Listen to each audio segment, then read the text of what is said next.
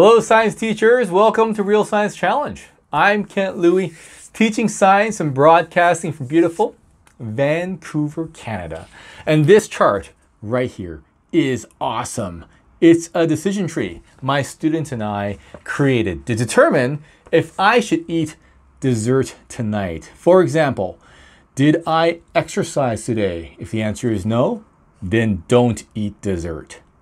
In this episode, I show you how I develop these with my students, and more importantly, how we use these in a science lesson.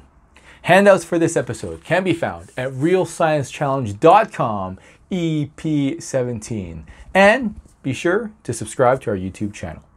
I'm using decision trees to teach and practice model making. Now, not all models need to be physical models. Food webs and nutrient water cycles are conceptual, pen and paper models of what's happening.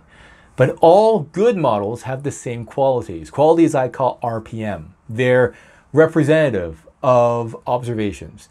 They're predictive and testable. And they're modifiable if new information arises. For example, in a food web, which represents relationships between plants and animals, predator and prey, if we were to remove one, we could predict what would happen to the others. A decision tree is a simple way to create a conceptual model. What makes it so simple is that it uses yes and no questions to come to an answer to a larger question.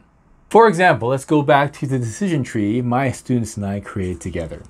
The overarching question is, should I eat dessert? And we break it down into smaller questions like, did I exercise today? Which, depending on if you answer yes or no, leads you to an answer like don't eat, or leads you to another question like, have I eaten it before? And again, the yes or no leads you to either the answer, eat it, or yes, to another question, which says, does it taste good? And of course, yes or no leads you to more decisions or more answers.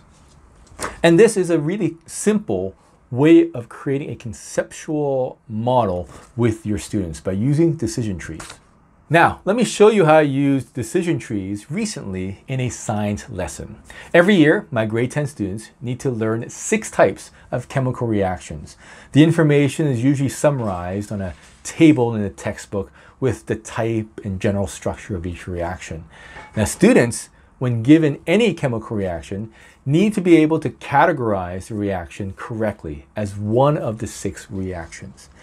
This year, I got students to create decision trees to streamline the process and map out their thinking when identifying reactions. The overall question to the decision tree is, what chemical reaction is this? And through a series of other questions, students can get to the right category, like synthesis or combustion. This decision tree is representative of what they're thinking and how they're problem solving, and we can test to see if what they created is right or wrong. And that's one way I mark this decision tree for this assignment. Now, think of where else you can use decision trees in your science classroom.